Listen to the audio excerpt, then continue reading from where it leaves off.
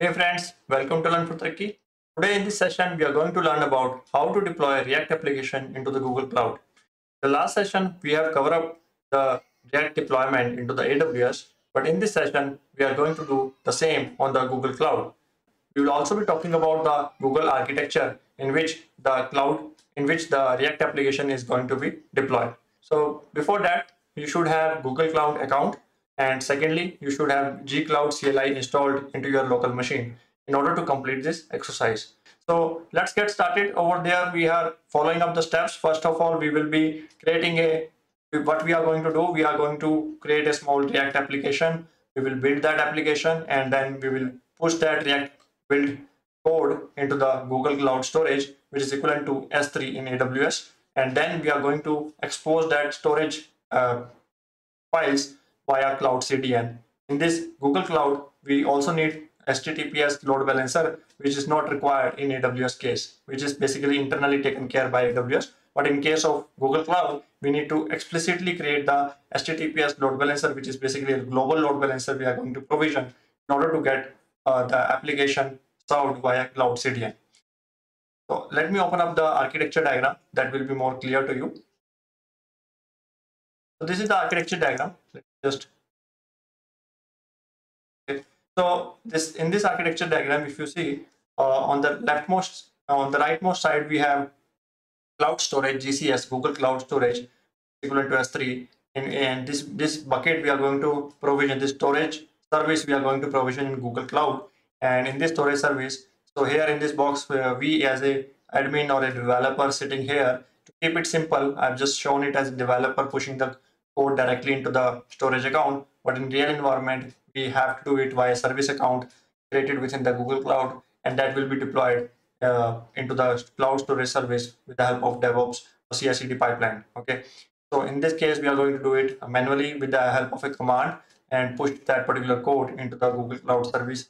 And then we are going to create Cloud CDN. Uh, while creating the Cloud CDN, it will ask us to create the Cloud uh, Global HTTPS load balancer. So in this case, the global HTTPS load balancer is necessary to be created for Cloud CDN to work. And once we create this, we will have to configure the front end and back end. So here in our case, uh, this uh, cloud storage is basically a backend, which is a backend uh, for load balancer. And then we will be having front end configuration, uh, which is basically a static IP associated with the load balancer. Uh, static IP is necessary in order to have it attached. You know, even though it is not ephemeral basically. That is necessary uh, in order to attach the domain name onto onto that particular IP and then we are going to use the cloud DNS to to actually attach the domain name on top of the IP uh, of the uh, global load balancer. Okay? So that way this cloud CDN via cloud CDN our application React application is exposed. And let us go to the cloud Google Cloud console and then provision these services. Okay and then we will see the cloud gcloud what are the basic things is necessary in order to deploy the react application. Okay. So let me just open up the let me just open up the google um, google cloud console. So i'm sitting on google cloud console. As of now i have a google cloud account and you should also be having that account. Otherwise this exercise won't be uh, possible so I'm sitting over here in the cloud storage service. So in order, there are in, in case of Google Cloud, it works like uh, in case of AWS, we do have to have accounts, right? And, and within and in case of Google Cloud, what is the difference? We need to have an organization. Uh, otherwise, no organization is basically by default Google Cloud says you don't have to create the organization, and then we have to create the projects. So here, uh, I have created a project with the name Nursery Kaksha. Uh, this is a, just an exercise project I'm building up. So this particularly Nursery Kaksha is actually a project in Google Cloud. Uh, that way you can create your project uh, within the organization or on, in Google Cloud. And then you have to go to the cloud storage service. And this is the sample storage uh, service I have already created before as an exercise before this video. So, but in our case, let, let us build this bucket uh, ourselves. Let's click on the create button and after clicking on the create button you just have to uh, name any uh, unique name of the bucket name. So this is the exercise you can say l4t um, l4t web app okay? This is the bucket name. And then you can just simply on the continue and keep it as multi-region uh, bucket for high availability and then continue. Keep it as it is the standard bucket. I don't have to change anything over here for this exercise. And here also let's just keep it as, as it is. We will see what are the changes needed in order to deploy the react application in order to make it work. Okay? So once we are done with this we just don't have to do anything. We just have to create a bucket the google cloud storage. So just you you can you can have it uh, confirm this. You don't have to worry about any of the settings over here while creating this storage bucket. Okay? Once the bucket is created uh, let's let's see how to push the code of react application so i already have a react application which is built with the help of uh, Vite, uh, just yarn create Vite. Uh, it is similar to create React app. So I have a sample application on, on my system just to avoid, uh, save some time. And uh, what we have to do, like uh, in order to deploy, before actually we are able to push into the Google Cloud, what you need to do, need to have, you need to have gcloud CLI installed into your system. And, and this, there is a Google, after installing the gcloud, there are Google maintains the CLI uh, basis on the services like component component wise. Like here we are our objective is to push uh, into the cloud Google Cloud Storage service, right? So we need to install the Google Cloud component for storage service, right? So that is needed to be installed. So in order to see what components we have, you can simply say Google Cloud components command. Okay, we try that. It will show okay, maybe I just forget the uh, command over here. Let me just try again.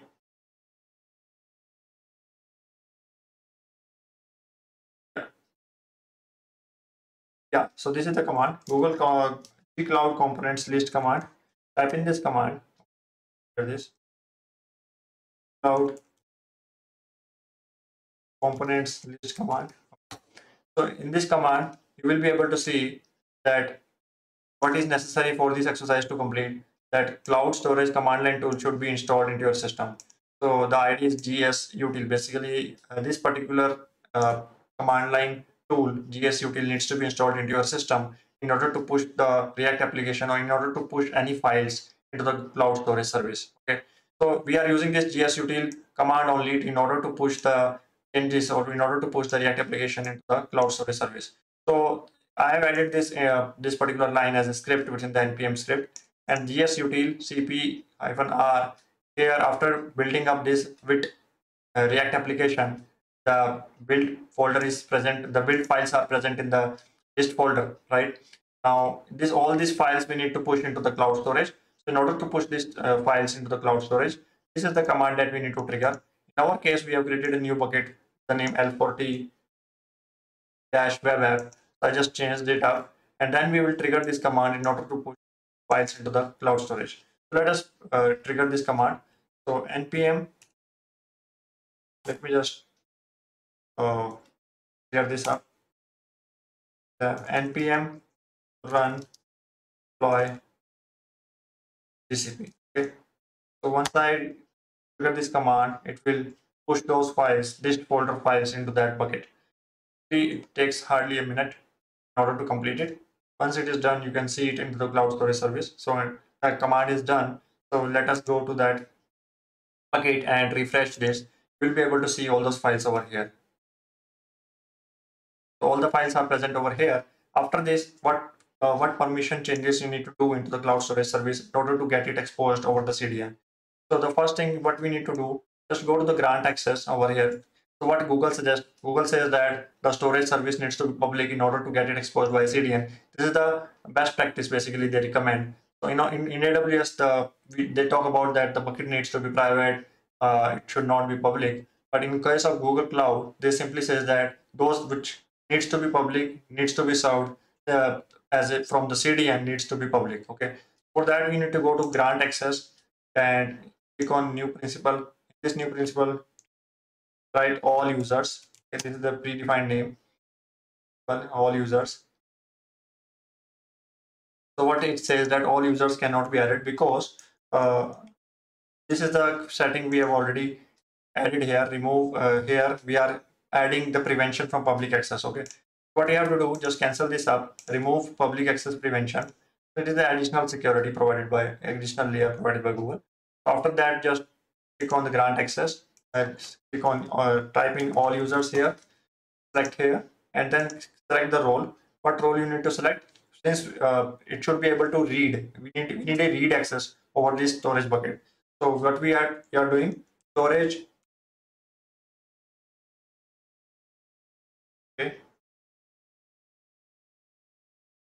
Let us type. Check. Read.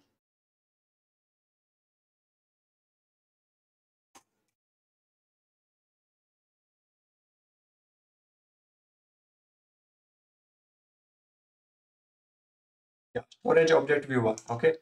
So this is the role that we need to select in order to make it entirely public for the internet. So let uh, let us save this one and allow public access so when we steps basically this is in the google documentation recommended step in order to get it done from the cloud cdn so this this is the step uh, that needs to be done into the cloud storage uh, level after that what you need to do as per the architecture diagram you need to provision this cloud CDN. Okay, let's quickly provision the cloud CDN. Go to this, uh, type in cloud CDN.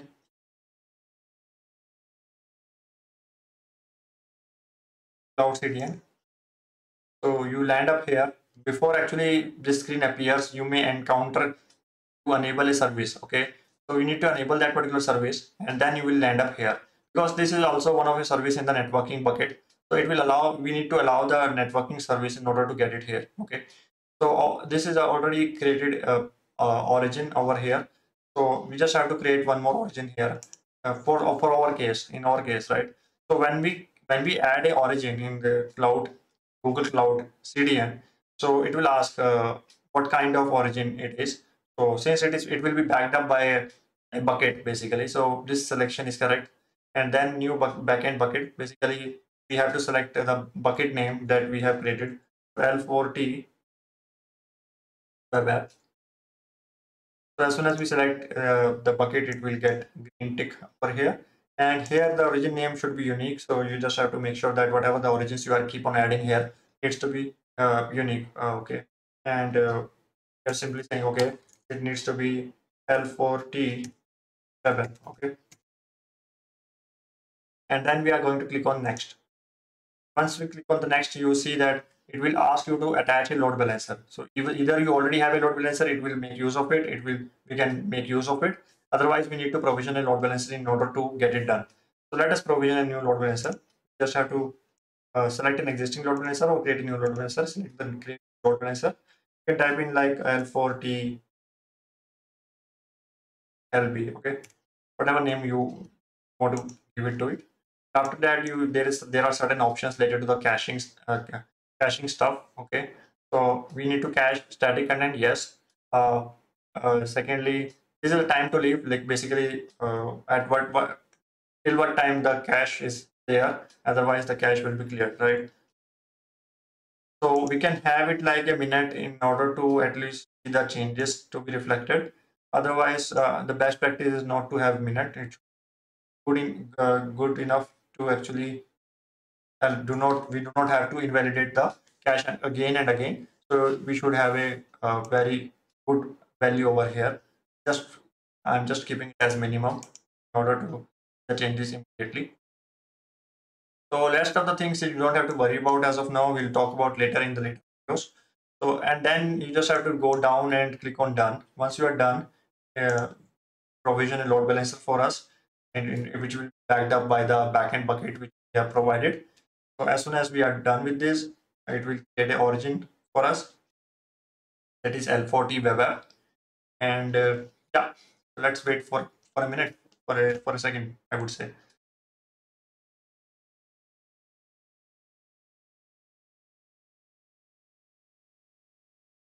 And meanwhile, we'll see that there is a load balancer which will get created load balance, just go to the load balancing service, so which is the topmost service over here in the network service. So if you come here, uh,